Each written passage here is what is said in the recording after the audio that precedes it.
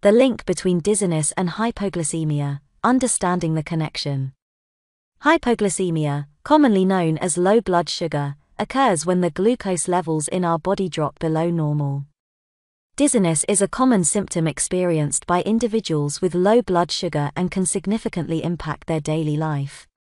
When blood sugar levels drop too low, our brain doesn't receive enough glucose to function optimally.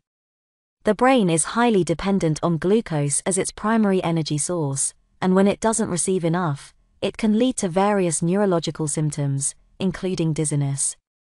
Dizziness is a sensation of lightheadedness, imbalance, or feeling faint, which can range from mild to severe. When glucose levels drop, blood vessels may constrict, reducing the supply of blood to the brain, leading to dizziness. Additionally, low blood sugar can also disrupt the balance of neurotransmitters that regulate blood pressure, contributing to dizziness and lightheadedness.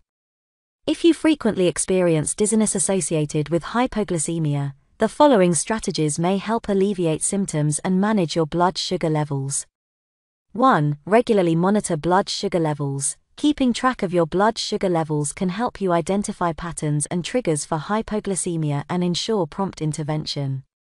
2. Maintain a balanced diet. Eating consistent, Nutritious meals and snacks throughout the day can help stabilize blood sugar levels and prevent sudden drops.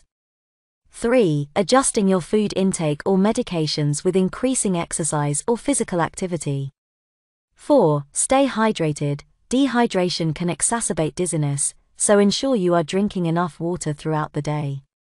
5. Seek medical advice. If you are regularly experiencing dizziness or suspect hypoglycemia, it is essential to consult with a healthcare professional for proper diagnosis and guidance. Feel free to contact us at Therapy Consultants for further advice on how to manage your balance related issues.